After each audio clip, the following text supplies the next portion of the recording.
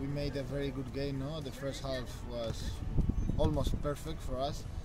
Then in the second half, they they fought. They they put difficult things for us, but finally we could achieve the three points. No, so that was very important for us. Uh, but ATK two days later won again, and now we have to win the the next game. So I I said this uh, two weeks ago. It will be a, a very tough uh, fight till the end. Uh, ATK, Bengaluru, and, and us uh, have the same options, and now it's not time to fail. No, we have to to win the the three games that remains, and now we are focused on the next one. This is Hyderabad.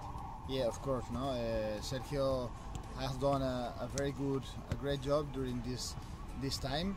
I think he achieved very important things for the clubs and for themselves. And, and well, uh, it's not uh, an easy situation for us now, but the, uh, the players uh, must be professional, profit the things they taught uh, us, and now fight till the end with the same mentality.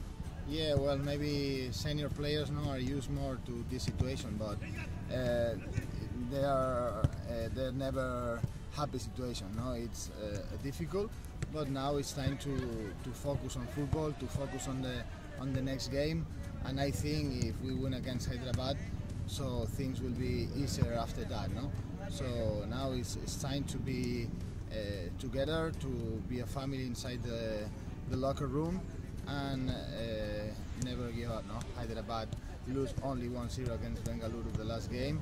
Uh, they are not losing the games uh, by big difference.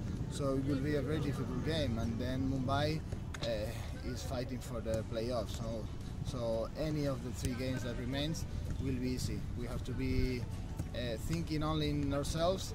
We have to maintain the same way, the same mentality, and we have to, to achieve this objective because this is very important for the club.